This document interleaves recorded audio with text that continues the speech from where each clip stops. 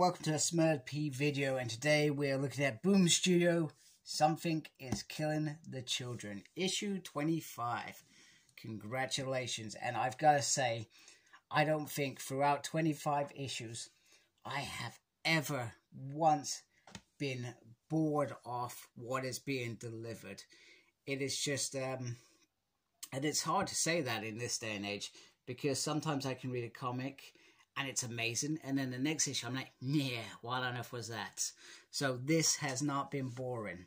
25 issues, well deserved. It's a brilliant, brilliant run. And if you haven't ever read something is killing the children, I recommend it. They've, um, I think they've just re-released the hardback of Volume One, which is issues one to 15.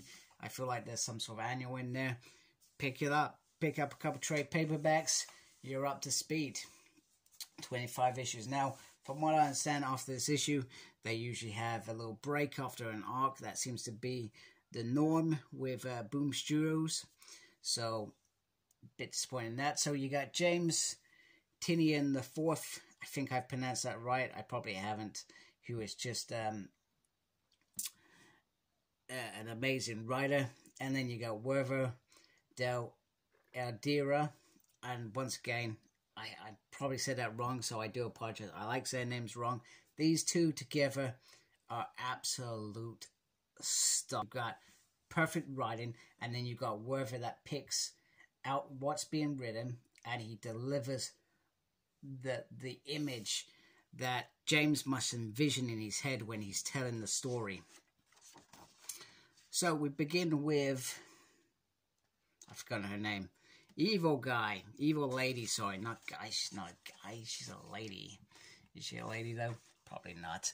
Um, she is quizzing about when...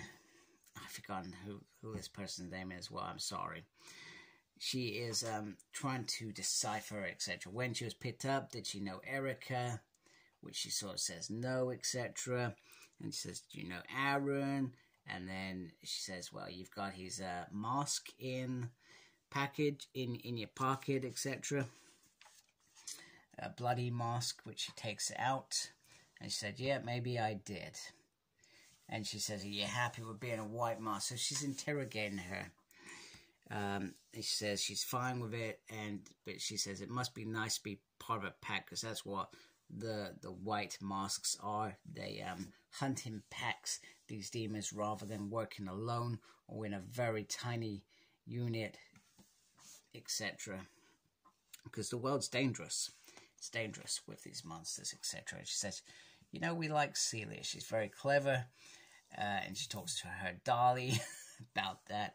And um, it's nice that you're keeping an eye on us for us. And she says, how long till we get there? A few hours. So meanwhile, Gabby is talking to Octopus about monsters. And sorry, let me get my camera correctly. And she is um, sort of trying to decipher, you know, why didn't you tell anyone about the monster, etc., you know. And she says, well, you know what, maybe I'm going mad, maybe I'm killing them, etc., you know. That's why I'm talking to an octopus like a crazy person says, I know where they are.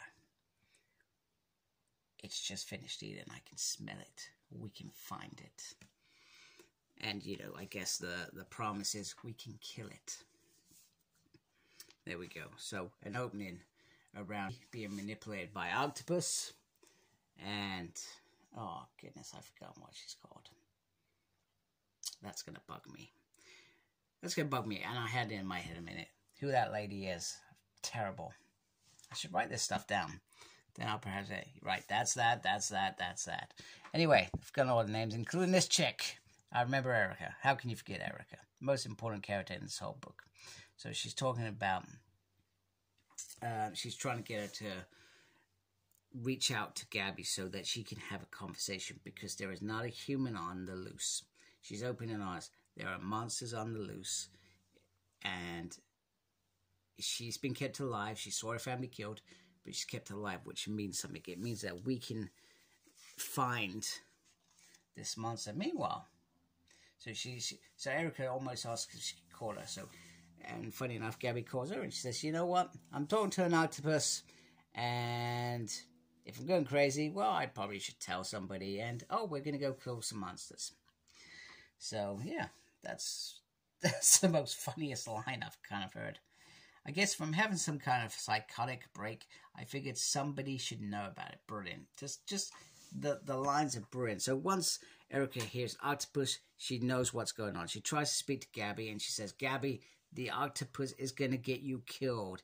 And she's like, Oh, you're the lady with the eyes, because she has great big eyes.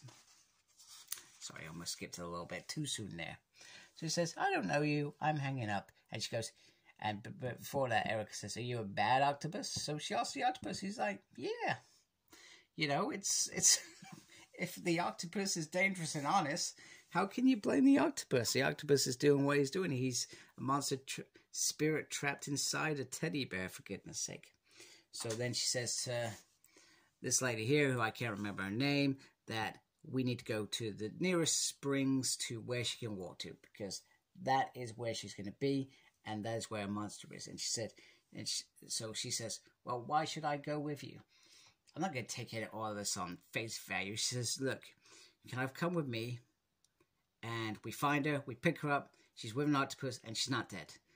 Or we don't, and you hear it on the news what has happened, and forever regret that moment for the rest of your life. And from then, it's sort of like a no-brainer. Let me just um, just my lights slightly. So the local kids break into the springs all the time, and uh, Gabby is aware that perhaps there are some boards that she can get into. So she gets in there quite quickly, and then she sees the monster, and she's like, well, there's some language there that I am not going to repeat, because I am being all professional today. And she asks the octopus, how do I kill it? Octopus goes silent. The octopus has led her into the trap, now it's game over. And this monster looks absolutely stunning. This is what I'm saying about the artwork. You know, it's just it just picks out everything that James is trying to say and deliver it in art form. You know, the horrors there, you know, creepy legs walking towards you, octopus is falling down. What more could you ask for? It is the perfect ten of the horror story. And then we get Slaughter flies in. Um, and then this monster, well, I'm not going to tell you what I think that looks like, but you know, use your imagination. So she tells the kid to get out of there. And, you know, I don't know how they came up with how this monster looks. I really don't. Um, it's, I've never seen anything like it. It's absolutely horrific and it's brilliant and it's scary and it's beautiful and it's amazing. So Erica is up against it. Every time she stabs it, it just makes the monster angrier. So Gabby decides that she is not going to run out. She runs back with a friend who just sees Erica being thrown around because Erica is not strong enough to stand up to this monster. You know, you, you you're usually a pack when you go against this sort of monster. So, and then they talk about it. Says, You can't see it, but we can. And she says, She's going to bleed out. Grab my stuff, my octopus, my stuff, and let's get out. So they're in the car. And then they get a they get a phone call. And it's uh she says, Hi, big big Gary. And then she said, apparently stabbing she starts going into it. Stabbing it just makes it angry. Which why I got the angry bit a couple minutes ago. And then she she hears a voice that she's not expecting. And she's uh she said it's rude for you, you not to pick up a good friend's call, so I'm glad you did. Especially somebody who um, breaks every code that they've been trained and everything that they've been given to live up in the the little farm that he's in. Oh, and she's called Cutter. We got there in the end. Cutter is her name. I completely forgot about. Him. So Gary horrifically is tied up there. Badly, badly beaten. She's beaten up his beautiful dogs.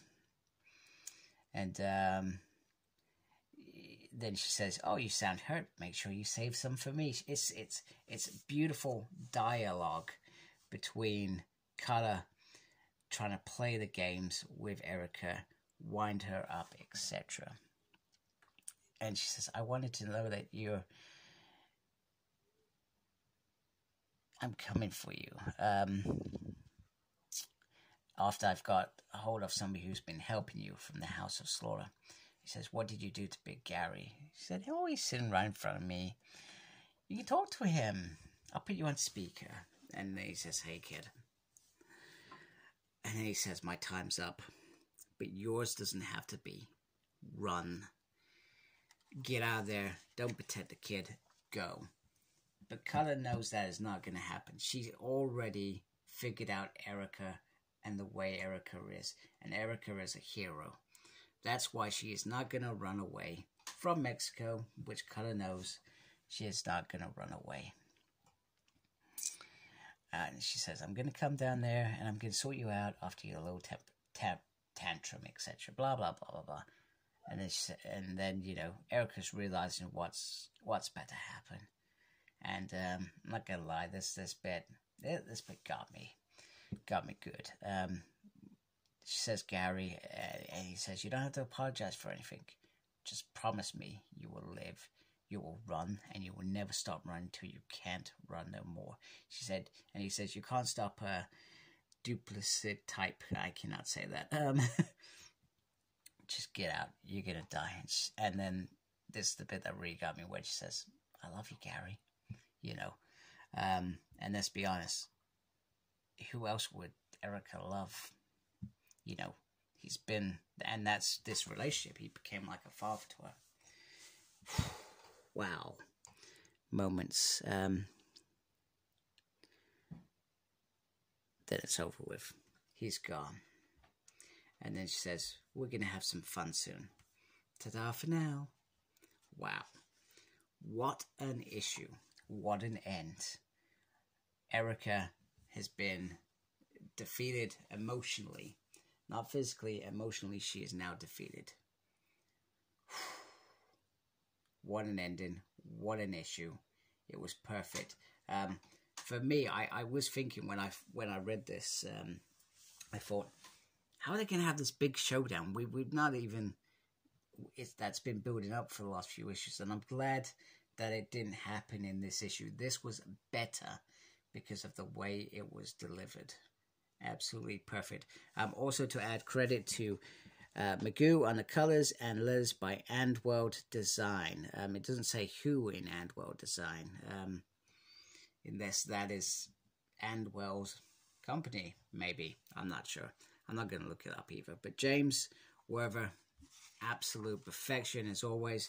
And um, I'm not sure when something is killing the children is going to return, but for me, absolute stunning issue, amazing work, and I am very excited for whenever the next issue comes out. I hope it is a month from now. Anyway, take care of yourself. Subscribe to my channel if you like my channel. Um, thank you to those that already subscribe and watch my videos. Make sure you look after yourself. Very important these days. As always, embrace the geekiness. Take care. Goodbye.